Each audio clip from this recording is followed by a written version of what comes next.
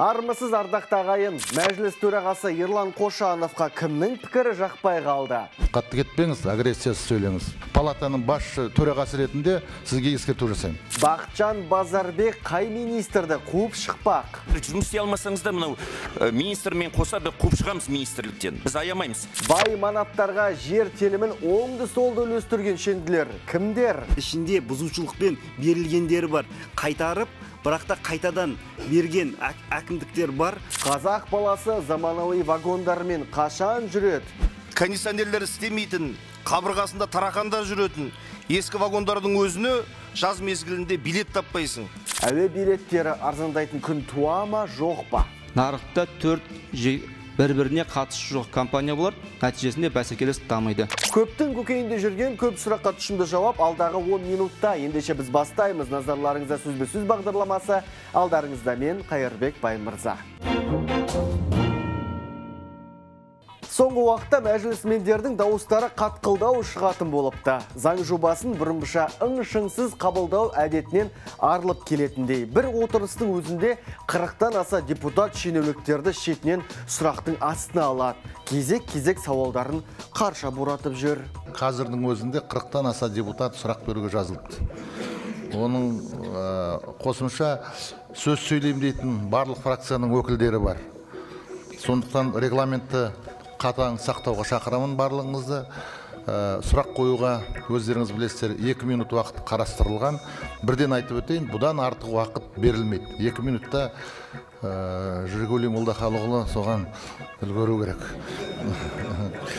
Ескертуден қатты ұялып кеткенге ұқсайды. Әдетте ұрсып, дауысын көтеріп, батырып-батырып сөйлейтін Жигули Дайрабаев бұл жолы расында қысқа қайырды. Тіпті үкіметтің бәрін жамандамайық деп атқарушы билікті мақтағандай сыңай танытып, жайлы пікір білдірді. Ойлана-ойлана алты сұрағын жазбаша беруді жөн санапты. жылдың аяғына дейін орындасақ біз мынау ауыл шаруашылығы мен айланысатын азаматтардың алдында ұятқа қалмаймыз. Қысқаша айтайын дегенім осы. Сұрақ жоқ қой сізде онда. Рахмет. Сұрағыңыз бар ма? Сұрағым бар еді енді оны мен жазбаша бере салайын. Ә, сіздің жаңағы ескертпеңізді басшылыққа алдым ғой ерлан мен жақанов сізге рахмет. сұрақ қойма деп айтқаным жоқ қысқа Мен қойыңыз деп осы сөзді айтайын дедім. Жақсы. Жазбаша беріңіз оны жақсы Мінбеде тұрып сөйлеген Тамара Дүйсенова біраз маңызды мәлімдемелер жасады. Әсіресе жер мәселесіне келгенде көсіле кетті. Сөзінше қайтарылған жердің көбі халыққа мал жаю үшін беріліп жатыр.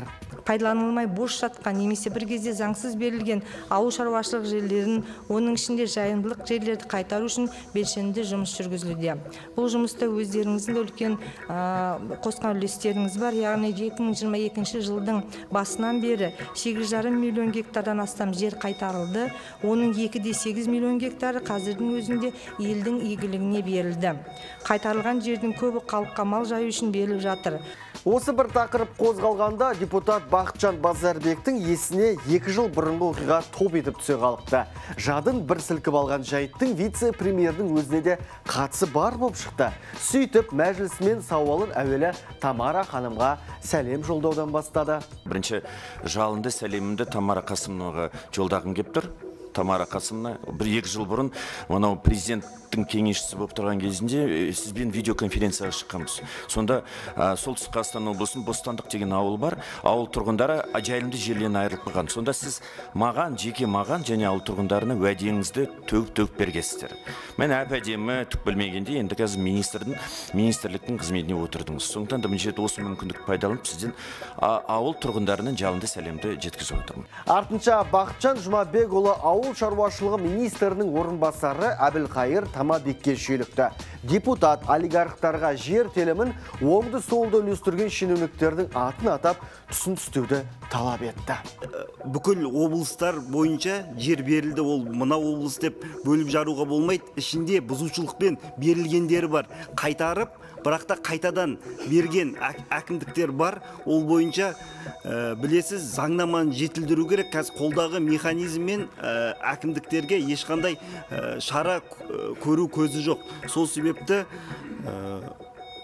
бұл мәселені заңнаманы жетілдіріп әкімдіктерді шара қолданатын норма енгізгеннен кейін тиісті шаралар қабылдаған дұрыс шығар. Әкімдіктерге тісіміз батпайды деп қынжылған вице-министр әкім қаралардың аты жөнін сол күйі атай алған жоқ. Ал өз сауалына мардымды жауап ала алмаған базарбек мырза ашуға булықты. Тіпті жұмыс істей алмасаңыздар министрмен бірге сіздерді қуып шығамыз деп жекіп тастады. Фамилиясын аты жөндерін ата деп тұрмын сізге. Фамилиясын аты, ата, атамасаңыз мына жерде әкімдіктерде шара жоқ. Неге әкімдер шара жоқ? Бізде тиісті қылмыстық кодекс нормаларымыз бар. Соңынан да мынау ә, тиісті фамилияларын беріңіз соны біз жауапқа тартамыз. Ал егер жұмыс істей алмасаңыздар мынау министрмен қоса біз қуып шығамыз министрліктен. Біз аямаймыз. Жайылым жерлермен халықты қамтамасыз етуіміз керек дей бергені сол еді бақытжан базарбек мәжіліс спикерінен сөз естіді. Депутаттың эмоцияға берілгенін ерлан қошанов жақтырмай қалды. Қатты кетпеңіз агрессиясыз сөйлеңіз деп сөкті. Қатты кетпеңіз агрессиясыз сөйлеңіз 10 миллион гектарға жуық жер қайтарылды. Бұл бірінші кезекте жер аманаты комиссиясының жұмысы. Жер аманаты комиссиясының құрамына бас прокуратура да кіреді депутаттар кіреді. Сонымен қатар ә, ә, қоғамдық біздің белсенділер қоғам өкілдері де кіреді. Оның басшысының бірі өзіңізсіз сондықтан мен де сізге жалынды сәлем айтқым келеді. Бұл ә, мәселе жер аманаты комиссиясы да осы мәселені ар жағында қалай әділ бөлініп жатыр соны қадағалауға бақылауға барлық құзыреті бар. Бақытжан жұмабекұлы бұл бірінші рет емес. Палатаның басшы төрағасы ретінде сізге ескерту жасаймын. Сөйтіп ескерту жасап қошанов та жалынды сәлемін жолдады. Ал екіншілері көлік министріне ыстық ықыластарын жеткізді. Мысалы журналист мақсат толықбай еліміздегі теміржол тасымалының сапасы жайлы сөз қозғады. Әрине ондағы жайт көңіл көншітпейді. Айта айта жақталды жылдағы жыр сапа нөл. Цитата сәбет заманынан қалған ескі вагондар сүйретіліп әлі жүр терезесі ашылмайтын кондиционерлер істемейтін қабырғасында тарақандар жүретін ескі вагондардың өзіне жаз мезгілінде билет таппайсың. Тапсаң бағаның өзі ол қымбат. Сөйте тұра біз билетті субсидиялауға жыл сайын сытырлатып миллиардтарды санап береміз. Ескі қазақстанның мұрасы болып қалған темір жол мәселесін қашан шешесіздер? 26 жыл күттік. Әлі қанша күтеміз? Заманауи вагондарға кезексіз тиімді бағада мінетін күн туа ма бұл қазаққа? Әуедегі тиімді бағалар да әңгіменің өзегіне айналды. Әсіресе бюджеттік әуе компания деген атауы ғана болмаса бағасына келгенде өйтіп айтуға ауыз бармай күн сайын қымбаттап жатыр. Бағаның шарақтағанын айтып айдос сарымға әріптестері шағымданған көрінеді. Адамдар төмен бюджеттік авиакомпаниялар төмен бағалы бюджеттік авиакомпаниялар билеттерінің бағасы күн сайын қымбаттап бара жатқанын атап өтеді. Лоукост рейсіне билеттің бағасы бас компанияның бағасымен теңесіп тұр кейбір жерде өсіп те жатады. Бір ғана мысал айтайын кешегі бір жиынға біздің әріптестеріміз аяқ астынан кездейсоқ билет алып елу бес мың теңгеге ұшып келді. Сонда осындай жағдай енді осындай бағалар деген енді масқара емес пе? Жауабын сұраныс пен ұсыныстан бастаған су жаңа көлік министрі мұндай мәселенің барын жоққа шығармайды. Сөзінше отандық әуе компаниялары сұранысқа төтеп бере алмауда. Түйткілдің түйінін тарқату үшін қосымша әуе көліктерін сатып алмақ. Былтыр 14 тікұшақ алған биыл жылдың соңына біздің отандық авиакомпаниялар тағы да 11 тікұшақ алады.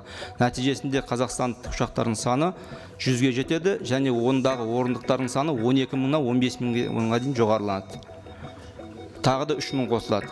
Оған қосыла 24-25 жылдар тағы да 30 тікұшақ сатып алу жоспарланып отыр. Сонда нәтижесінде жалпы 20 мыңға дейін жетеді. Бұл сөздерге қарағанда көлік министрі тікұшақ пен ұшақтың айырмашылығын білмей жүрген секілді. Мұнысын айдос сарым түзетіп жіберді. Ал төменгі палата спикері бәсекелестік өскен сайын бағада қатардан қарасын үзбей аспандап жатыр деп сынады. Нарықта төрт бір біріне қатысы жоқ компания болар. Нәтижесінде бәсекелестік дамиды. Жалпы тұрақ, бағаны тұрақтандыруға көмектеседі деп ойлаймыз. Рахмет. Сіздер бәсекелестікті өсіріп жатырсыз бәсекелестік өскен сайын баға да өсіп жатыр. Айдос сарым депутат екінші рет. Микрофон қосыңыздар айдос жаңа министр айтып қалды тікұшақтар деп ұшақтар емес ұшақ Ал сіз бұған не дейсіз? Біздің пікірге алып қосарыңыз бар ма? Ендеше ютубтағы ресми парақшамызға кіріп, осы видеоның астына комментарий қалдырыңыздар. Бірге талқылаймыз. Хабарымыздың кезекті саны ұнаса лайк басуды да ұмытпаңыздар. Бүгінге осы мен өздеріңізбен қоштасамын. Жақсылықта жолығайық.